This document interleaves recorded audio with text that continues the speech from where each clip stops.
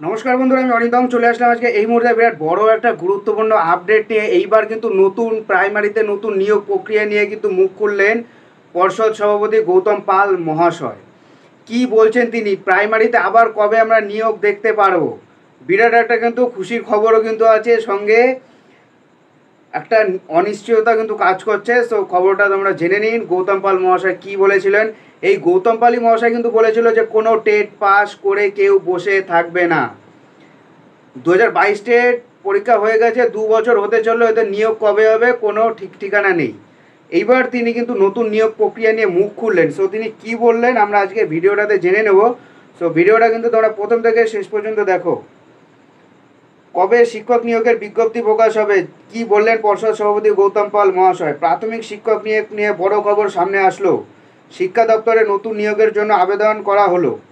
রাজ্যের প্রাথমিক বিদ্যালয়ে নতুন শিক্ষক নিয়োগ প্রক্রিয়া শুরু করতে শিক্ষা দপ্তরের কাছে আবেদন করেছে প্রাথমিক শিক্ষা পর্ষদ। আদালতের নির্দেশে উচ্চ প্রাথমিকের শিক্ষক নিয়োগের জট কেটেছে। এবার প্রাথমিক শিক্ষক নিয়োগ নিয়ে বড় খবর সামনে এলো। শিক্ষা দপ্তরে নতুন নিয়োগের জন্য আবেদন করা হলো। রাজ্যে প্রাথমিক বিদ্যালয়ে নতুন শিক্ষক নিয়োগ প্রক্রিয়া শুরু করতে শিক্ষা দপ্তরে আবেদন করেছে প্রাথমিক শিক্ষা পর্ষদ। বুধবার প্রাথমিক শিক্ষা পর্ষদে গিয়ে পর্ষদ সভাপতি গৌতম পালের সঙ্গে বৈঠকের পরে এ কথা জানালেন প্রাথমিক টেট দু হাজার বাইশের চাকরি প্রার্থীরা।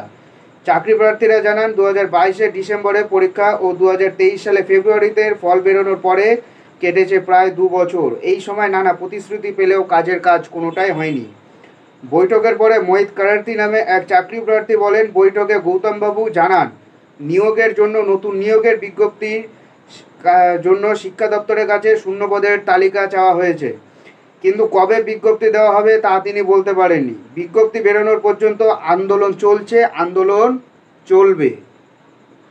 প্রসঙ্গত উল্লেখ্য, শিক্ষক নিয়োগের নতুন বিজ্ঞপ্তির দাবিতে দু হাজার বাইশ সালে টেট পাস প্রাথমিকের চাকরি প্রার্থীরা মঙ্গলবার শিয়ালদা থেকে ধর্মতলা পর্যন্ত মিছিল করেন, তারা জানান, তারপরেই প্রাথমিক শিক্ষা পর্ষদ তাদের বৈঠকে ডাকে।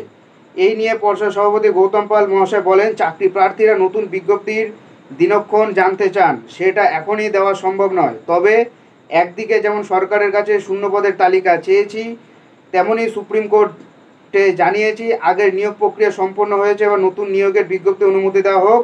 সুপ্রিম কোর্ট অনুমতি দিয়ে দিলে আবার নতুন করে নিয়োগ প্রক্রিয়া শুরু করব। অর্থাৎ পর্ষদও কিন্তু নিয়োগ করার জন্য কিন্তু বসে আছে।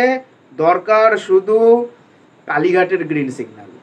মাননীয় মুখ্যমন্ত্রী যদি নির্দেশ দিয়ে দেয়, তাহলে কিন্তু যখন তখনই কিন্তু নিয়োগ বার করতে পারবে। আর কিন্তু কোনো আইনি জটিলতা নেই।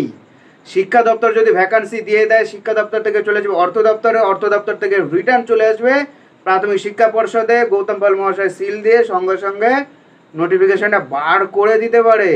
এখন শুধু অপেক্ষা গ্রিন সিগন্যাল আশা করি আমরা এ বছর, অর্থাৎ আমি তো প্রেডিকশান দিয়েছিলাম, সেপ্টেম্বর, অক্টোবর, নভেম্বর তিন মাস। আমার সেপ্টেম্বরে প্রেডিকশান শেষ, অক্টোবর, নভেম্বর পড়ে আছে। দেখা যাক, পাই নাকি?